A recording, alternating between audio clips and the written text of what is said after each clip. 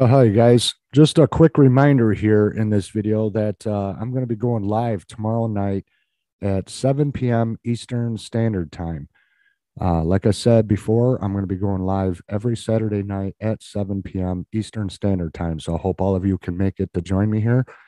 And um, I'll be back in my uh, room, back room that I'm turning into a YouTube studio. And you guys can let me know what you would like this live stream to be about. Should it be about a topic? And if so, what topic?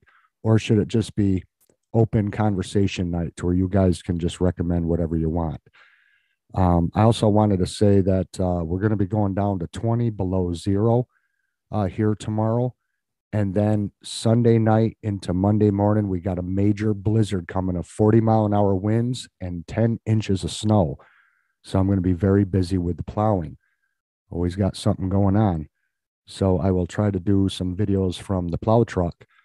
And uh, because I got to be ready for this storm, but it's going to be brutal cold tomorrow. So I've been going out and getting stocked up and things that I need. I hope to see you all here. And don't forget to comment down below to let me know what you guys would like to see the live stream be about, or if you want it to be open conversation to whatever, kind of like a lot of them are. You guys decide.